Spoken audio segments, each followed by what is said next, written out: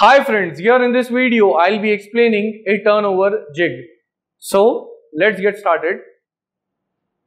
Now here we have the diagram of the turnover jig. It is basically used for those components in which we have to drill holes and those components are not symmetric that is the shape of the component is complicated and in that the holes cannot be drilled by using simple jig plate. So we have to use the turnover jig and what are the parts of these turnover jig? Here there is a quick action nut then at the same time there is a washer. Here is the workpiece which is kept in which the hole needs to be drilled. Then there is this location post and after that the quick action nut and this, this is the washer. This C washer is connected with the help of a chain which is attached to the jig body. Now what happens during the operation is that we have to load the workpiece and how the workpiece gets loaded here there are foot nuts given. So at first this is the orientation. It means the jig is kept in this way. On the foot nuts the workpiece is placed. This is the workpiece as we see over here. Here we have this workpiece.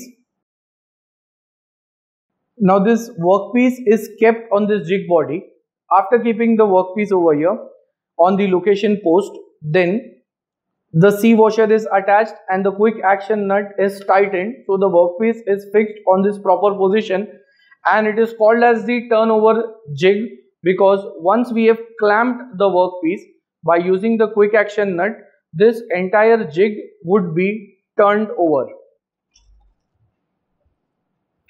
It would be kept in this way during the machining process.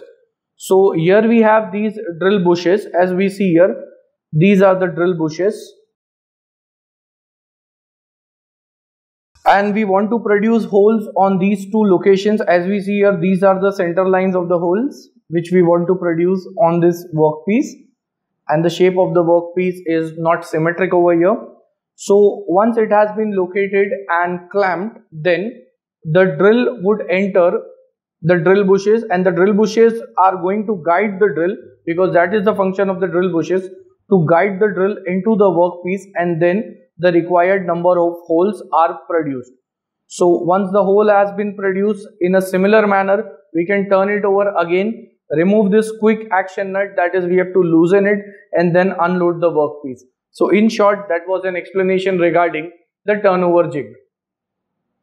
At the end, if you'll find my videos helpful, you all can like, share, comment and subscribe our channel and share it amongst your family and friends.